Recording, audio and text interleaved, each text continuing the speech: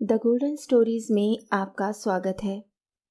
आइए सुनते हैं अज्ञे जी का लिखा उपन्यास, नदी के द्वीप, भाग नौ। रेखा स्टेशन पर गाड़ी रुकते न रुकते उतर पड़ी, पर प्लेटफार्म की पटरी से पैर छूते ही मानो उसके भीतर की सुफुर्ती सुन हो गई। उसने एक बार नज़र उठाकर इधर उधर देखा भी नहीं कि कोई उसे लेने आया है या नहीं।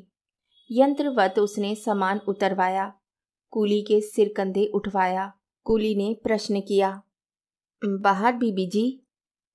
रेखा ने उत्तर में अस्पष्ट हाँ कहा और फिर कूली की गति में मंत्रबद्ध सी खिंची चल पड़ने को थी कि पास ही भुवन के स्वर ने कहा, नमस्कार रेखा जी। तब वह चौंकी नहीं। एक धुंध सी मानो कट गई। मानो वह जानती थी कि भुवन आएगा ही वह मुड़ी तो एक खुला आलोक उसके चेहरे पर दमक रहा था। नमस्कार भुवन जी मैंने तो समझा कि आप नहीं आएँगे। आप बड़ी जल्दी उतर पड़ी। मैं तो डिब्बों की ओर देखता रहा। अच्छी तो हैं। देखने से तो पहले से अच्छी ही मालूम होती हैं। रेखा ने किंचित विनोदी दृष्टि से उसे सिर से पैर तक देखकर कहा, और आप? आप पहले से भी अधिक व्यस्त और अंतर्मुखी। नहीं तो ये तो मेरी छुट्टियाँ हैं। हाँ काम से नहीं, काम के लिए। पर अच्छा है, काम में ही मुक्ति दिख सके। कितना बड़ा सौभाग्य होता है। कुली ने पूछा जी, चलूँ? हाँ हाँ चलो, बाहर ले चलो, भुवन ने कहा। चलिए रेखा जी। हाँ सुनिए, मैं वाई डब्ल्यू में ठहरूँगी। मैंने पहले सूचना दे रखी है, आत्मनिर्भर, अर्थात नौकरी करने वाली स्त्रियाँ वहाँ रह सकती हैं। ठीक है, वही सही। मैं तो कॉलेज में ठहरा हूँ, एक प्रोफेसर के साथ। रहेंगे? यही चार छह दिन रहूँगा। यहाँ से सामान बेचकर फिर कश्मीर जाऊँगा। हाँ हाँ। चंद्रमाधव ने लिखा था। कहकर रेखा सहसा चुप हो गई। एक बोझल मौन उसके बीच में आकर जम गया। तांगे पर सवार होकर रेखा ने फिर पूछा भुवन जी एक स्वार्थ की बात कहूँ? क्या मैं दो चार दिन यहाँ रुक जाऊँ तो आप अपना कुछ समय मुझे देंगे? दिल्ली में मेरे परिचित तो बहुत हैं, पर वे खुशी की बात अधिक है या डर की नहीं जानती। मुझे तो यहाँ कोई काम नहीं है। दो एक व्यक्तियों से ही मिलता जुलता हूँ। मेरे पास बहुत समय है। उबाऊँगी नहीं, ये वचन देती हूँ। रेखा हंस दी ऊब आने से पहले ही हट जाऊँगी। मुझे और कुछ तो नहीं आता, पर ऊब के पूर्व लक्षण खूब पहचानती हूँ। कहूँ कि मेरे जीवन का मुख्य पाठ यही रहा है, ऊब की सात सीढ़ियाँ। वह खतरा मुझे नहीं है। मैं ही उबा सकता हूँ, क्योंकि मेरे पास कहने को बहुत कम है। अधिक बात जिस विषय की कर सकता हूँ, वह स्वयं उबाने वाला है, विज्ञान। भुवन जी आप अपने बारे में बात करते हैं, करते रहे हैं। नहीं तो या बहुत कम। रेखा जी, वह भी कोई विषय है? तो ठीक है। कहना चाहिए कि वे नया विषय है। मेरे लिए तो है ही। आपके लिए भी। रेखा की आँखें हँसी से चमक उठी। और मैं फ़ायदा करती हूँ, इस विषय से नहीं उबूँगी। आप ही जब छोड़ें तो छोड़ें। बल्कि मैं फिर फिर लौट आऊँ। तो आप बुरा तो ना मानेंगे। भुवन ने थोड़ा सा सकुचाते हुए यद्यपि कुछ तोष भी पाकर कहा आ, ना नहीं तो पर मैं फिर आपको वॉर्न करता हूँ। वह विषय बड़ा नीरस है और कहीं पहुंचाता नहीं।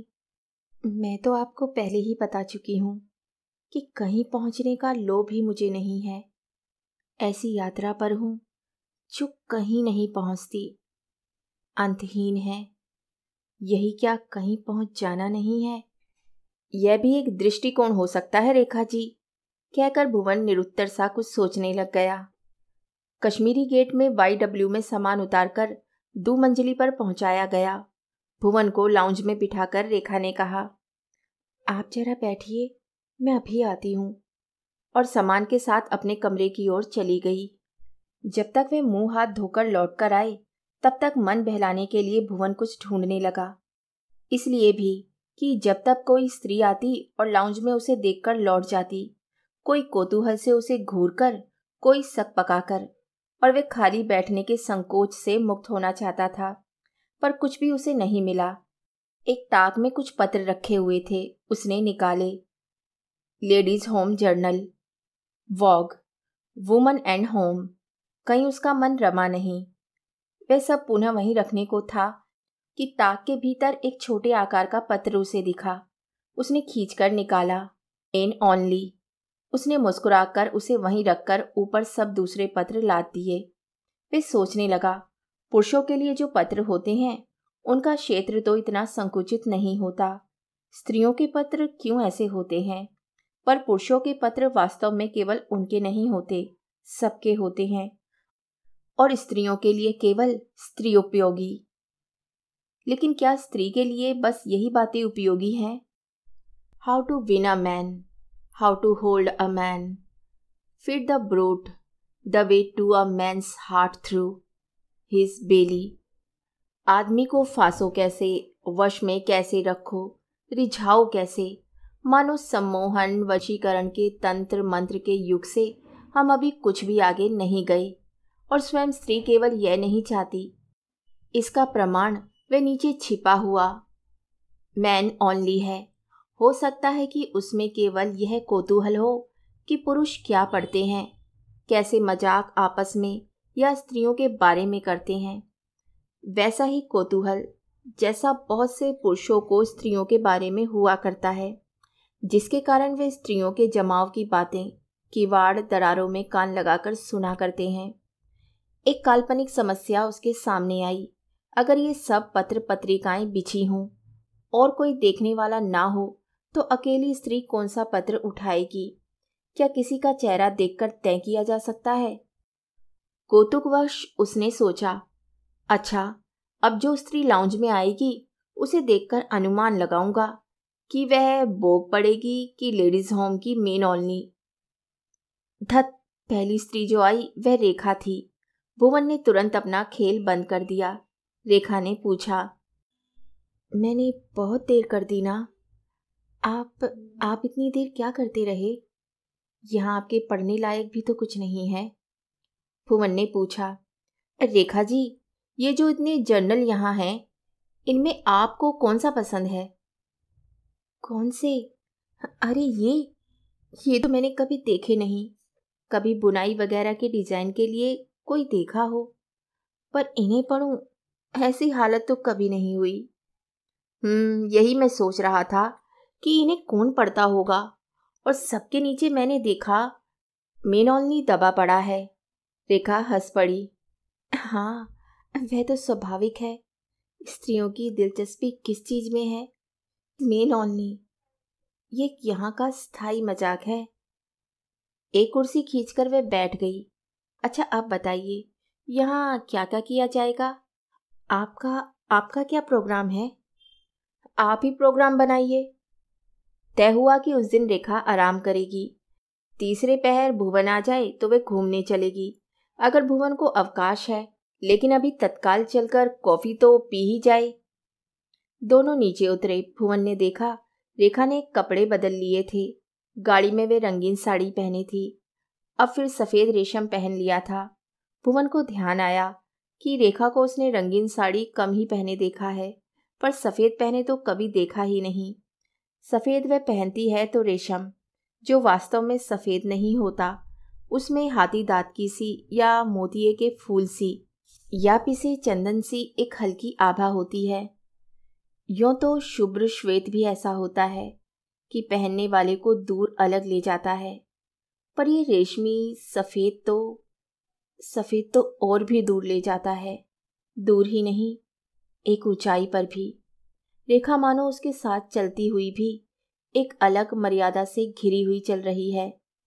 रेखा ने कहा, क्या सोच रहे हैं भुवन जी? कुछ नहीं। आपकी बात सोच रहा था। नहीं, कुछ सोच नहीं रहा था। केवल आपको देख रहा था। देखिए आपको कॉम्प्लीमेंट देना भी नहीं आता ना? कितने अच्छे हैं आप। जिसके साथ सतर्क नहीं रहना पड़ता। अब की बार भुवन हंस दिया। पर क्यों? यह वह स्वयं नहीं जान पाया। कॉफ़ी पीते पीते रेखा ने पूछा भुवन जी, आपने पहाड़ जाने के लिए और किसी को आमंत्रित नहीं किया? नहीं तो फिर मेरा जाना ही तो नहीं हुआ। अच्छा आप जहाँ रिसर्च के लिए जाना चाहते हैं वहाँ मैं आ जाऊँ तो आपके काम का बहुत हर्ज होगा। भुवन ने एकदम चौंक कर कहा, वह तो एकदम बियाबान जंगल है रेखा जी, वहाँ फिर भी फिर भी फ़र्ज़ कीजिए। नहीं, आप ही हर्ज करना ना चाहें तो खास नहीं होगा। इतना ही कि आपकी असुविधा का हमेशा ध्यान रहेगा। और और काम में बाधक होगा? रेखा हंसती। ठीक है मैं तो मैं तो यूँ ही कह रही थी। वापस पहुंचकर रेखा ने नीचे ही कहा चीना चढ़ने की कोई आवश्यकता नहीं है। मैं यहीं से विदा लेती हूँ। मैं यहीं रहूँगी। आप तीसरे पहर जब भी आए, मैं तैयार मिलूँगी कुदसिया बाग में उन दिनों फूल लगभग नहीं होते। कोई फूल ही उन दिनों में नहीं होता, सिवा वैजंती के, जो चटक रंगीन चूनर ओढ़े बीबी शटल्लो बनी धूप में खड़ी रहती है, लेकिन खंडर पर चढ़ी हुई बेगम बोरिया लता की छाछ सुहावनी थी। फूल इसमें भी कई तेज रंगों के भी होते हैं, पर इसकी लंबी पतली बाहों में, हवा में झूमते गुच्छा गुच्छा फूलों में एक अल्लड़पन होता है, जो वजंती की भूनिष्ठ आत्मसंतोष से सर्वथा भिन्न होता है। और फिर इस विशेष लता के फूल भी तेज रंग के नहीं थे। एक धूमिल गुलाबी रंग ही उनमें था, जो पत्तियों के गहरे हरे रंग की उदासी कुछ कम कर देता था। बस, भुवन नीचे घास पर कोहनी टेके बैठा, बेंच पर बैठी रेखा को देख रहा था। रेखा पहले बेंच पर बैठ गई थी। जब भुवन नीचे बैठा तो वह भी उतरने लगी, पर भुवन ने कहा, नहीं नहीं, आप वहीं रहिए। इस बैकग्राउंड पर आपकी साड़ी बहुत सुंदर दिखती है। रेखा ने एक फीके कोकनी रंग की साड़ी पहन रखी थी। बेगम बेरिया के फूल उसका संतुलन कर रहे थे। मानो एक ही गीत दो स्वरों में गाया जा रहा हो। रेखा का मंद अंतर्मुख और गहराई खोजता हुआ लता का तार बही निर्वेदित और उड़ना चाहने वाला। रेखा को एक आदत थी, सहसा मानो अनजाने।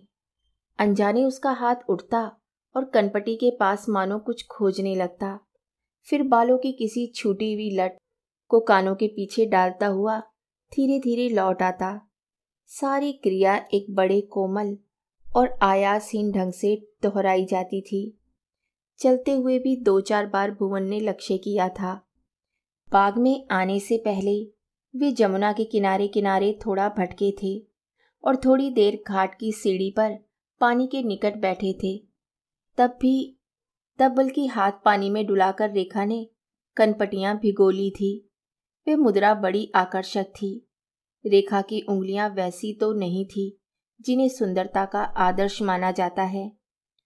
उनके जोड़ उभरे हुए थे और रूप तत्व की अपेक्षा मनस तत्व की ओर ही इंगित करते थे। और रूप तत्व की अपेक्षा मंस तत्व की ओर ही इंगित करते थे। पर वे थी पतली। और व्यंजना पटु संवेदनशील उंगलियाँ। अभी बैठे बैठे उसका हाथ फिर उठा तो भुवन ने पूछा, आप आप थक तो नहीं गई? हम लोग काफ़ी भटके। नहीं, मुझे तो पता ही नहीं लगा। और रेत में भी तो चले, उससे बड़ी थकान होती है रेखा जी। नहीं, मैं अभी और चल सकती हूँ, पर यहाँ बैठना भी बहुत मधुर है। भुवन हंस दिया फिर एक लंबा मौन रहा। दोनों आकाश को देखते रहे। मई का, दिल्ली का आकाश, उसकी नीलिमा सभ्यता की भाप से मुरझाकर फीकी पड़ जाती है और आकाश सभ्यता की तरह अपने ही रंग का ओप अपने पर नहीं चढ़ाता। पर प्रकृति के विभिन्न भावों की झाई उसे नाना रंग दे जाती है। इस समय उसके आगे तांबे के रंग का एक छीना सा जाल था। जो धीरे धीरे धुंधला पड़ रहा था। रेखा ने कहा, शहरों का आकाश भी क्या चरित्रहीन आकाश होता है? फिर गर्मियों में, यो मैं साँझ को घनी होते देखते घंटों बैठी रह सकती हूँ, पर गर्मियों में शहर में लगता है सबसे अच्छी दोपहर है। साए साए सन्नाटा, धूप ऐसी की चौंधिया दे। पर उसकी चिलक ही जैसे दृश्य को मांझ जाती है। सभ्यता के भीतर से मानव हृदय की स्तब्ध धड़कन तब सुनी जा सकती है। भुवन कुछ नहीं बोला। रेखा का स्वर उसे अच्छा लग रहा था। उसकी गति मानो लय युक्त थी। एक भावाक्रांत उतार चढ़ाव मानो अलग से कहता था। बात के अर्थ से अलग और भी अर्थ है मुझमें। आकथित आकथ्य आकथ्य अभिप्राय। जरा कान देकर सुनो। रेखा ने ही फिर कहा, यूँ तो पहाड़ पर या सागर के किनारे ही आकाश देखना चाहिए, पर देहातों में और खासकर आखिरी बरसात में, तब आकाश बोलता है, गाता है, कैसे कैसे अर्थ भरे गाने। शहर का आकाश, शहर का सूर्यास्त जैसे ड्राइंग रूम की बातचीत। सब कोई बोल रहे हैं, लेकिन सब कोई जैसे छिपे हुए, जैसे अनुपस्थित, केवल स्वरों के रिकॉर्ड, केवल यंत्र लिखित उत्साह और आवेश। भुवन ने धीरे से कहा रेखा जी, आपका इस वक्त का आविष्ट स्वर मुझे तो अनुपस्थित नहीं लग रहा है। मैं, रेखा कुछ रुक गई फिर मुस्कुराकर बोली, भुवन जी, अगर आप चाहें तो मैं भी ड्राइंग रूम वाली बातों का कल खोल दे सकती हूँ। आप नहीं जानते कि मेरे पास कितनी बड़ी टंकी उस बंधे पानी की जमा है, लेकिन लेकिन आपका समय मैंने मांगा था तो उसके लिए नहीं। वह फिर गंभीर हो गई। असल में असल में मेरे भी दो पहलू हैं। एक चरित्रवान, प्रकृत, मुक्त एक सभ्य और एक एक चरित्रहीन। रेखा जी, यूँ पहलू तो हर किसी के चरित्र में होते हैं। पर चरित्र को इस तरह डिब्बों में बांटना तो बड़ा खतरनाक है। व्यक्ति को एक और संपूर्ण होना चाहिए। यह विभाजन तो हास की भूमिका है। हाँ हाँ मैं जानती हूँ। और सभ्यता जो हासोन्मुख हो जाती है वे किस लिए? कि समर्थ प्रकृत चरित्र, सभ्यता के पोसे हुए पालतू चरित्र के नीचे दब जाता है। व्यक्ति चरित्रहीन हो जाता है, तब वे सृजन नहीं करता, अलंकरण करता है। नए बीज की दुर्निवार शक्ति से ज़मीन फोड़कर नए अंकुर नहीं फेंकता। छरे फूल चुनता है, मालाएँ गुथता है, मालाओं से मूर्तियाँ सजाता है। जब मूर्ति पर मालाएँ सूख जाती हैं, तब हमें ध्यान होता है कि सभ्यता तो मर चली, पर वास्तव में मरना तो वहाँ आरंभ हुआ है, जहाँ हमने झरे फूल का सौंदर्य देखना शुरू किया। डाल से टूटे फूल का।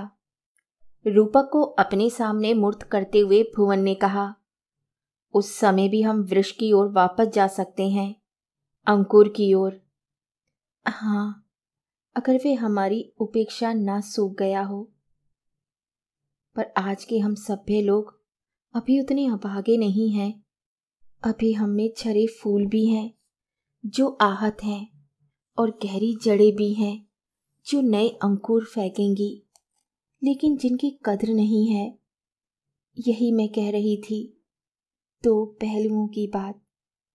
वह चुप हो गई, फिर एक मौन छा गया। अब तक थोड़ी थोड़ी हवा चल रही थी। वह भी बंद हो गई। भुवन ने कहा, उमस हो रही है। थोड़ा टहला जाए। चलिए। दोनों बाग में इधर उधर टहलने लगे। खंडर और लता के कुंज के दूसरी ओर, हरियाली में, जहाँ तहां बच्चों के दल खेल रहे थे। अब तक सब आयाओं द्वारा किलकते फुदकते आज शावकों की तरह घेरे जाकर अपने अपने बाड़ों की ओर ले जाए जा चुके थे। एक दम तोड़ता हुआ सा अंधेरा छा गया था। रेखा ने सहसा कहा भुवन जी, मैं आपको अपने प्रकृत, स्वस्थ, मुक्त पहलू से ही जानना चाहती हूँ। उसी के संपर्क में मैं आपको रखना चाहती हूँ। पर उसके लिए ईमानदारी का तकाजा है कि दूसरा पहलू आपसे छिपाऊं नहीं। बात भुवन की संवेदना को छू गई, पर उसे समझ नहीं आया कि क्या कहे। उसका हाथ तनिक सा रेखा की ओर बढ़ा और रह गया। वह कहने को हुआ, थैंक यू रेखा जी। पर बात कुछ ओछी लगी। फिर उसने कहा, रेखा जी, मैंने आपके बारे में इतनी गहराई से कभी नहीं सोचा, पर अगर मुझमें भी ऐसा विघटन है, होगा ही तो मैं भी यत्न करूँगा कि नहीं, आप में वैसा नहीं है। आपको आपको शायद विज्ञान ने बचा लिया। या रेखा हंस पड़ी। कहूँ कि आप अभी उतने सभ्य नहीं हुए। फुवन भी हंस दिया। लेकिन मैं आपको देर तो नहीं करते रही। आपके मेजबान।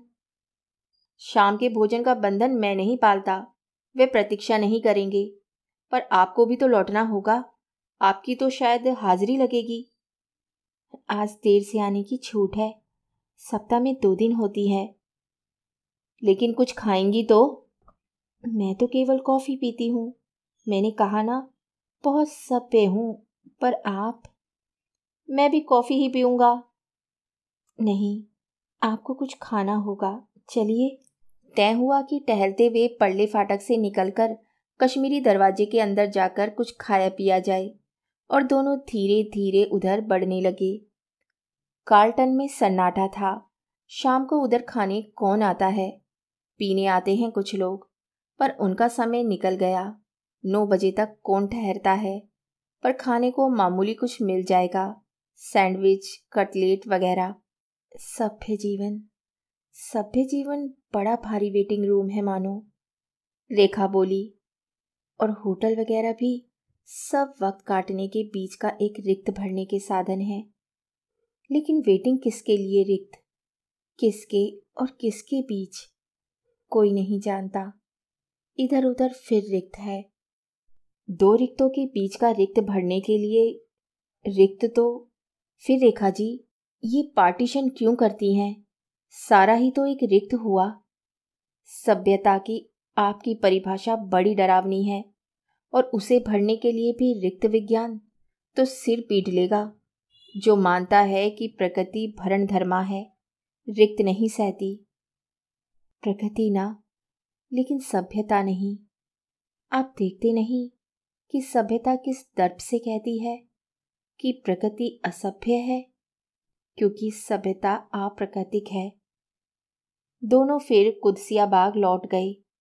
अब एक और भी गहरा मौन वहाँ पर था, और उसने जैसे दोनों को बाँध दिया। कई फेरे दोनों ने चुपचाप लगा लिए। सहसा दूर कहीं दस का गजर हुआ। रेखा जी, ऐसी बात कहना तो शील के विरुद्ध शायद, लेकिन मैं कई बार सोचता हूँ, आपको गृहस्थी में सुखी होना चाहिए था। या यह कहूँ कि आपके साथी को ऐसा क्या हुआ कि रेखा रुक गई। अंधेरे में एक दूसरे का चेहरा साफ़ नहीं दिखता था, पर रेखा के सावले चेहरे में उसकी आँखों के कोए स्पष्ट झलक गए। उसने स्थिर दृष्टि से भुवन को देखते हुए कहा, पर पर वह सब तो आपको, चंद्रमाधव ने, आपको मालूम ही होगा। यह तो नहीं कह सकता कि नहीं बताया, या कि स्वयं मैंने ही नहीं पूछा। भुवन ने चंद्रमाधव पर दोष ना मरने की नीयत से कहा, पर पर यूँ तो कोई कारण होता ही है रेखा जी। लेकिन उसमें आंतरिक कारणत्व ना हो तो प्रश्न उठता ही है कि क्या कोई एडजस्टमेंट नहीं हो सकता था? क्योंकि बाहरी सब कारणों पर व्यक्ति विजय पा सकता है, क्योंकि वह मशीन से अधिक अडेप्टेबल है, लचकीला है। आप ठीक कहते हैं भुवन जी। हर घटना की एक आंतरिक संगति होती है, हर दुर्घटना की भी। लेकिन क्या आप सचमुच वे सब सुनना चाहते हैं? अगर आपको कहने में कलेश या संकोच ना हो तो हाँ भुवन ने हिचकते कोमल स्वर में कहा। पास की बेंच पर रेखा बैठ गई। संकोच होता भी है, नहीं भी होता। कहते हैं ना कि अच्छा स्वप्न कह देने से उसकी संभावना कम हो जाती है। उसी तरह बुरा सपना कहने से उसका बोझ भी हल्का हो जाता है।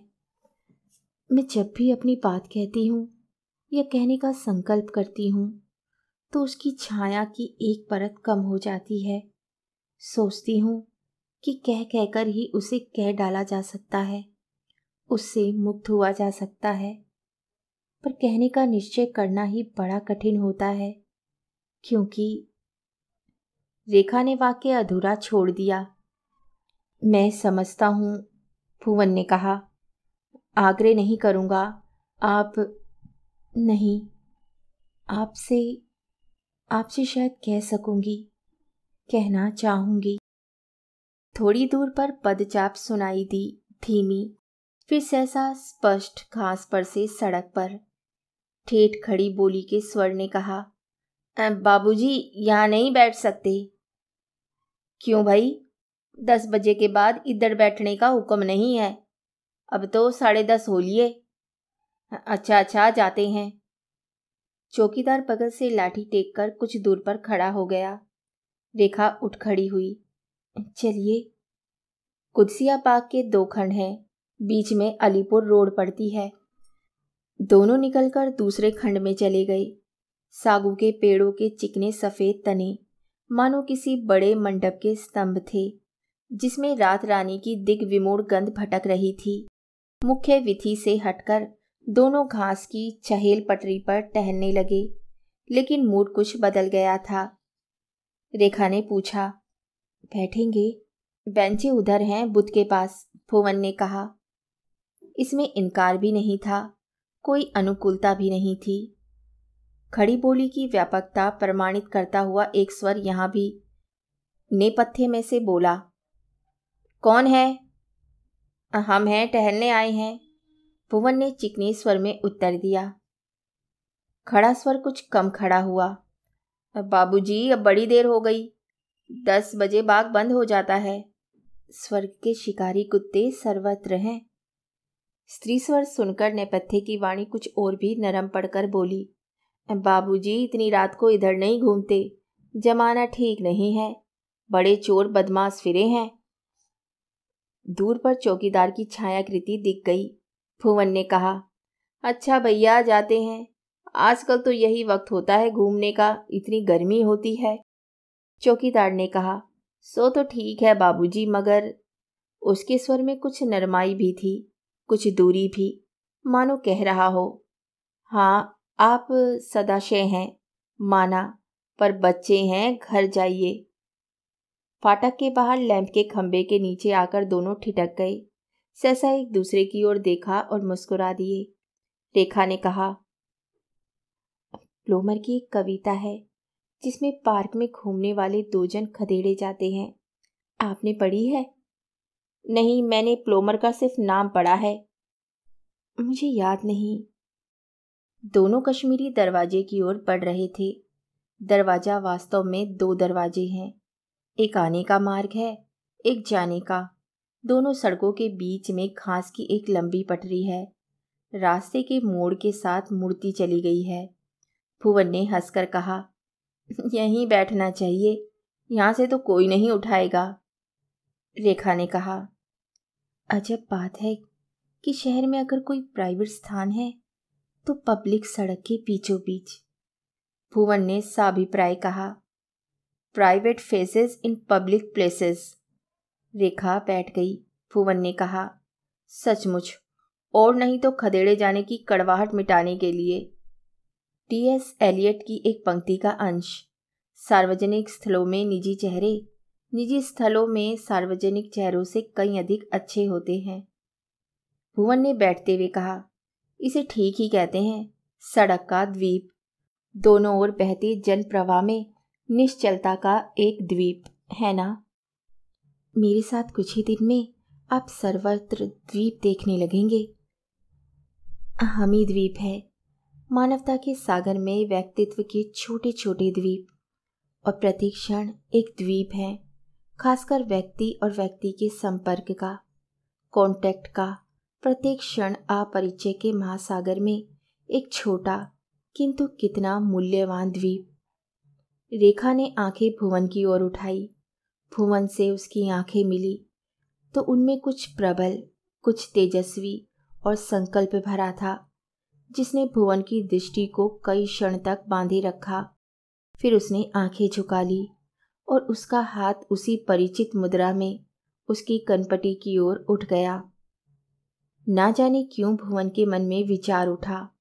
हाँ हाँ मैं तुम्हें पहचानता हूँ, रेखा। लेकिन तुम मुझसे क्या चाहती हो? पर तत्क्षण ही विलीन हो गया। इतनी जल्दी कि वे उसे ठीक से पकड़ भी ना पाया। चलें, रेखा ने कहा और साथ ही उठ खड़ी हुई। उसके बाद कोई कुछ नहीं बोला। रेखा जब वाई डब्ल्यू के फाटक पर पहुँची और अंदर प्रविष्ट हो गई तभी उसने कहा, नमस्कार भुवन जी। और उसने जल्दी से कहा, नमस्कार। आगे की कहानी सुनिए अगले भाग में। तब तक के लिए धन्यवाद।